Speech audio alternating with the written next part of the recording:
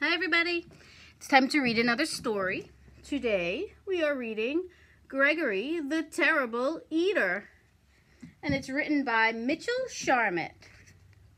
This is another one of our favorites.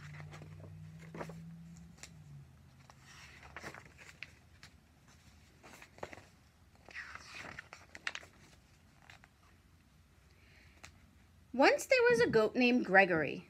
Gregory liked to jump from rock to rock, kick his legs into the air, and butt his head against the walls. I'm an average goat, said Gregory.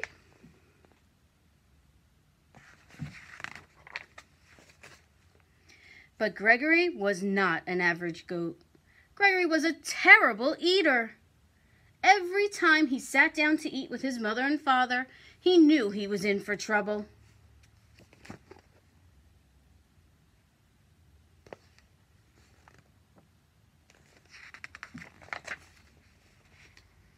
Would you like a tin can, Gregory? asked Mother Goat. No, thanks, said Gregory. How about a nice box, a piece of rug, and a bottle cap? asked Father Goat. Bah, said Gregory unhappily. Well, I think this is a meal fit for a goat, said Mother Goat, as she chewed on an old shoe. It certainly is, said Father Goat, as he ate a shirt, buttons and all. I don't know why you're such a fussy eater, Gregory.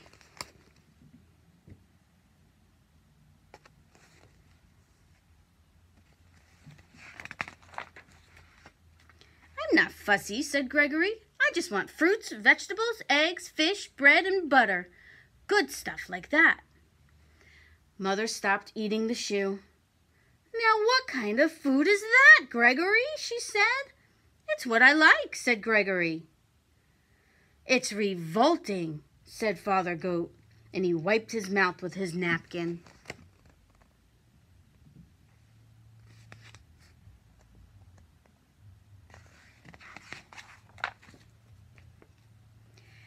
After Gregory was excused from the table, Father Goat said, Gregory is such a terrible eater. I wonder what's wrong with him, said Mother Goat. Mother and Father Goat ate their evening newspaper in silence.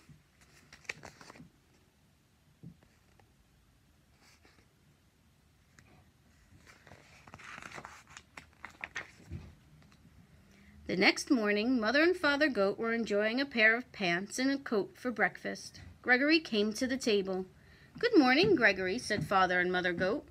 Good morning, said Gregory. May I have some orange juice, cereal, and bananas for breakfast, please? Oh, no, Mother Goat said. Do have some of this nice coat. Take a bite out of these pants, said Father Goat.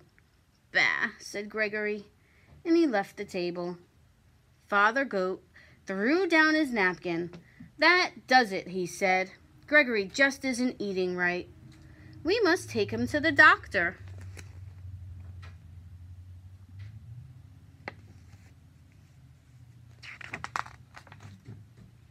Father and Mother Goat took Gregory to the doctor. Dr. Ram was munching on a few pieces of cardboard.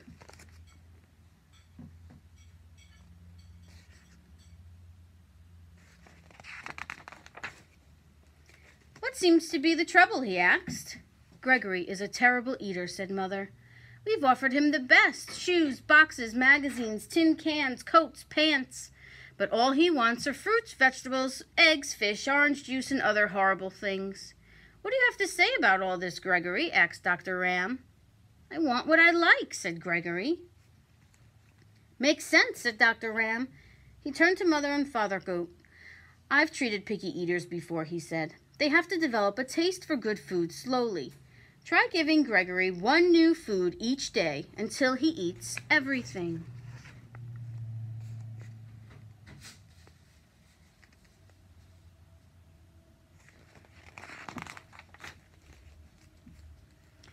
That night for dinner, Mother Goat gave Gregory spaghetti and a shoelace in tomato sauce.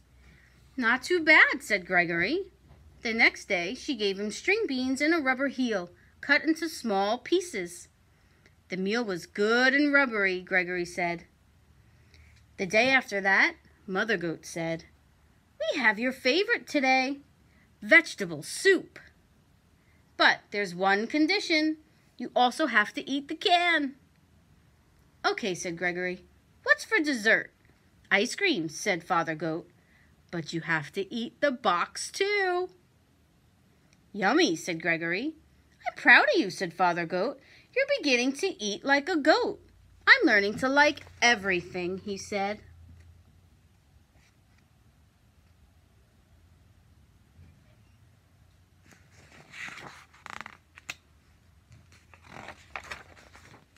One evening, Father Goat asked, Has anyone seen my striped necktie? Not since breakfast, said Mother Goat. Come to think of it, I haven't seen my sewing basket all day today. I left it in the living room at supper last night. Father Goat turned to Gregory. Gregory, have you been eating between meals? Yes, Gregory said. I can't help it. Now I like everything.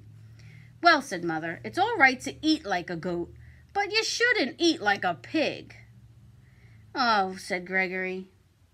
After Gregory went to bed, Mother Goat said, I'm afraid Gregory will eat my clothes hamper. Yes, and then my toolkit will be next, said Father Goat. He's eating too much now. We'll have to do something about it.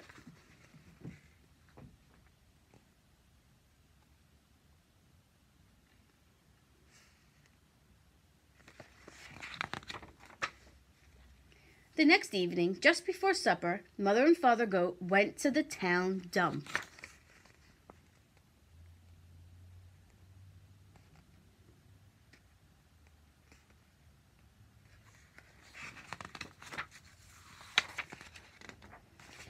They brought home eight flat tires, a three foot piece of barber pole, a broken violin, and a half a car. They piled everything in front of Gregory's sandbox. When Gregory came home for supper, he said, What's all that stuff in the yard? Your supper, said Father Goat. It all looks so good, said Gregory. Gregory ate the tires and the violin. Then he slowly ate the barber pole. But when he started in on the car, he said, I've got a stomach ache. I have to lie down.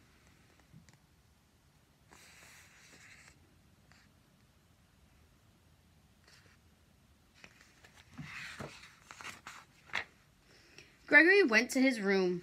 I think Gregory ate too much junk, said Father Goat. Let's hope so, said Mother Goat. All night Gregory tossed and twisted and moaned and groaned.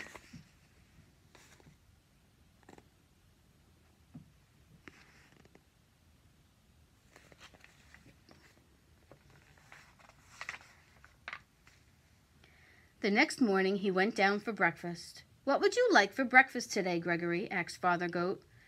Hmm, scrambled eggs and two pieces of wax paper and a glass of orange juice, said Gregory.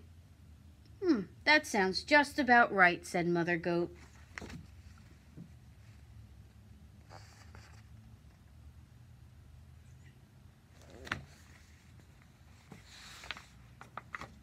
And it was. End. Thanks, guys. See you next time.